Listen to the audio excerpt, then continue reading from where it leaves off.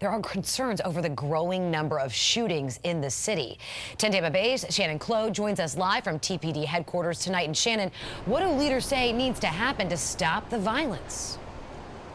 Well, Courtney, naturally people think police can fix it all. But tonight I can tell you community members and police both agreeing this is going to take a village. A lovable kid, like every parent loves their kids to be, you know.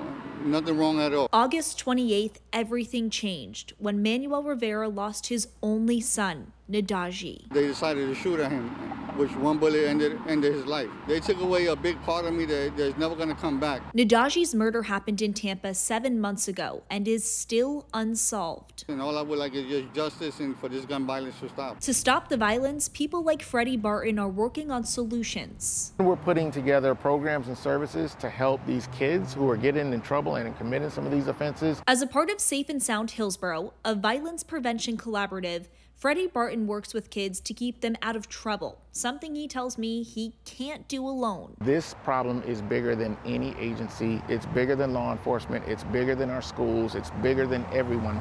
It only can be solved by working together as a community. Together, Barton says we can get guns out of kids' hands. We need the community to tell us where the guns are how they're getting access. Barton tells me already this week he knows of 22 kids arrested. That includes a 15 year old boy who's accused of shooting a nine year old girl Tuesday night at Robles Park. In the last 24 hours, there have been two more shootings. Don't ruin your life or someone else's life.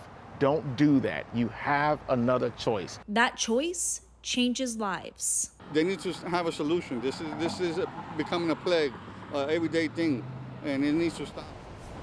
And if you want to get involved, you are more than welcome to do so. Safe and Sound Hillsborough has a mentorship program where you can be a positive light in someone's life.